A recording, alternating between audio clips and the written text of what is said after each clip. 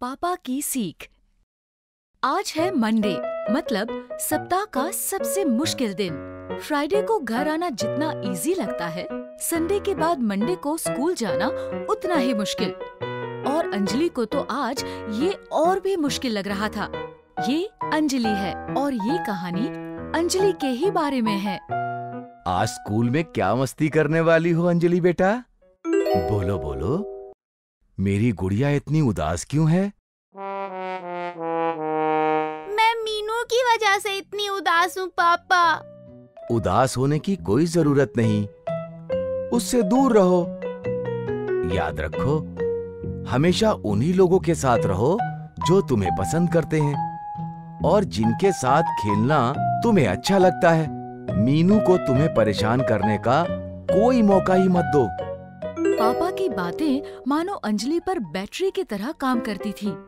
उधर बैटरी डाली और इधर अंजलि बड़ी से बड़ी जंग लड़ने के लिए भी तैयार। आखिर स्कूल जाना भी तो अंजलि के लिए किसी जंग से कम नहीं था। अंजलि द वॉरियर को मीनू का सामना जो करना था। आउच! मेढक जैसी आँखों वाली लड़की, आज टिफ़िन में क्या लाई हो? परेशान मत करो। जाओ यहाँ से। स्कूल में जितना डर अंजलि को मीनू से लगता था, उतना ही अच्छा उसे अपने तीन दोस्तों से मिलकर लगता था, राजू, छुटकी और वरुण। हमेशा अंजलि के साथ रहते थे, उसकी मदद करते थे। मीनू का अंजलि को इस तरह परेशान करना उसके दोस्तों को बिल्कुल अच्छा नहीं लगता था। जब जब मीनू अंजलि को तंग करती, वरुण अंजलि को उसे सबक सिखाने को कहता। वरुण को अंजलि का यूँ चुप रहना बिल्कुल अच्छा नहीं लगता था। तुम्हें भी उसे धक्का देना चाहिए था अंजलि। तुम हमेशा चुप क्यों रह जाती हो? पापा कहते हैं मीनू पर ध्यान मत दो। आज टीचर से उसकी शिकायत करके रहेंगे। नहीं चलो ना चलते हैं। अंजलि के स्कूल जाने के दो ही कारण होते थे। पहला कारण था अपने तीनों बेस्ट फ्रेंड्स से मिलना उनके साथ थोड़ी सी पढ़ाई और ढेर सारी मस्ती करना। और दूसरा कारण, मम्मी का दिया हुआ टेस्टी लंच तीनों दोस्तों के साथ शेयर करना। सीमा टीचर की क्राफ्ट और म्यूज़िक क्लास के बाद सबको बहुत जोरों से भूख लगती। और जब लंच होता तो चारों दोस्त मिलकर लंच के लिए दौड़ते।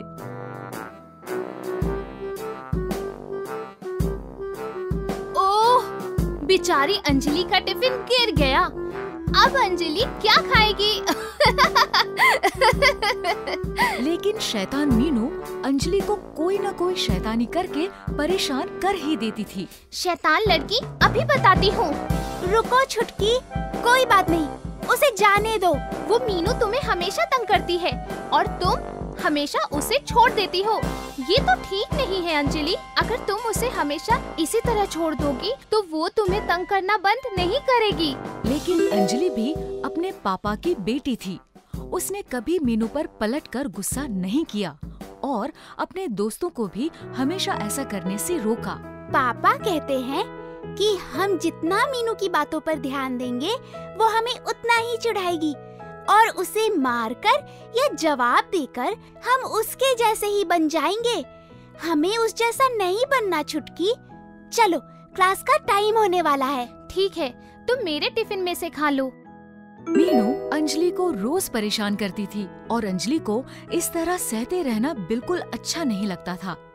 एक दिन अंजलि ने सोचा कि क्या पापा की बात मानकर वो सही कर रही है?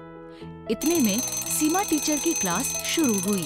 शायद उस दिन स्कूल जाने की सबसे अच्छी बात, सीमा टीचर की वो क्लास ही थी, जिसने अंजलि के लिए सब कुछ बदल दिया। बच्चों, कल की क्लास में हम सब कुछ खास सीखेंगे। उसके लिए आप सभी को कल अपने अपने खिलौने लाने होंगे। हाँ अगर कोई चाहे तो क्लास में छोटे पौधे भी ला सकता है। ऐसा करके हम सब एक दूसरे को और भी अच्छे से जान पाएँगे। उस दिन अंजलि ने घर जाने पर सोचा कि आज वो पापा से साफ़ साफ़ कह देगी कि अब उससे मीनू का व्यवहार बिल्कुल सहा नहीं जाता। अंजलि तुम्हारे घुटने पर चोट कैसे आई? मीनू की वजह से आज उसने सुबह ज़ोर से धक्का दिया और मुझे चोट लग गई। लेकिन जैसा आपने कहा था, मैंने उसे कोई जवाब नहीं दिया। वरुण कह रहा था कि मुझे भी उसे धक्का देना चाहिए था। तुमने बिल्कुल ठीक किया। मुझे अपनी प्यारी सी बेटी पर गर्व है। तुम्हें मीनू नहीं पसंद, क्योंकि वो तुम्हें मारती है, तंग करती है और हमेशा खुद का सोचती है। तुम्हारे उसे मार देने पर भी ये समस्या नहीं सुलझेगी, क्योंकि वो मीनू है और तुम अंजलि हो, तुम लकी हो कि तुम्हें इतने प्यारे दोस्त और प्यार करने वाले मम्मी पापा मिले। हो सकता है मीनू के साथ ऐसा ना हो, इसलिए कभी मीनू पर हाथ नहीं उठाना। अंजलि को पापा की बात भी गलत नहीं लगी।